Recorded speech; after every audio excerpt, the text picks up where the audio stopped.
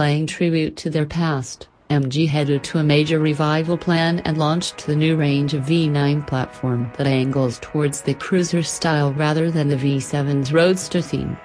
And now, the brand is getting the third iteration of their most celebrated model, the V7 which is also the first model created by MG. Celebrating the 50th year of the first, the brand is launching the V7 III which will have four additions to it, Stone, Special, Racer and the celebratory entrant Anniversario. Manufacturers are now foraying into the current wave of enthusiasts wanting custom and classic motorbikes.